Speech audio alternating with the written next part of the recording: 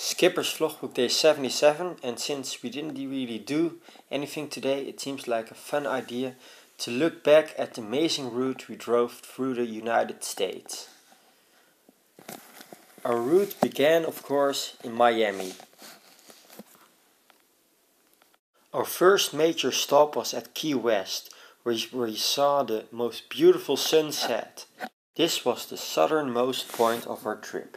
Then we started heading up north and going land inward quite a bit to get to Nashville, the country music capital of the world.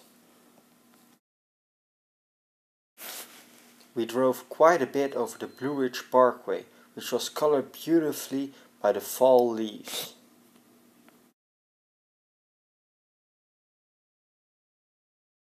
In Ohio, we visited the Amish community, where we had a lot of fun exploring it with our host.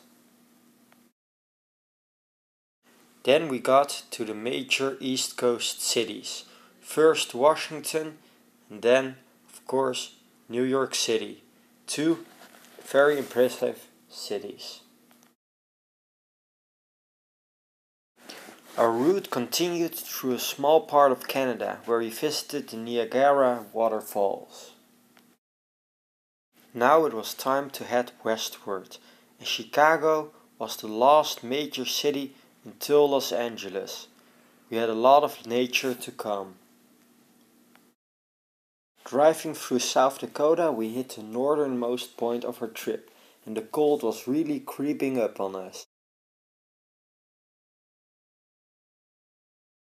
Before heading towards the southwest, we had a stop at Mount Rushmore. By this time of year, the Rocky Mountains had already turned into a winter wonderland. As we were heading south in Monument Valley, it was finally warm enough to camp again and we saw the most beautiful sunrise from our campsite. We reached the west coast for the first time in Los Angeles and the nice weather had returned. We celebrated Flora's birthday in the insane city of Las Vegas. And we actually saw the biggest tree in the world in Sequoia National Park. The last national park we went to was Yosemite with some very impressive waterfalls.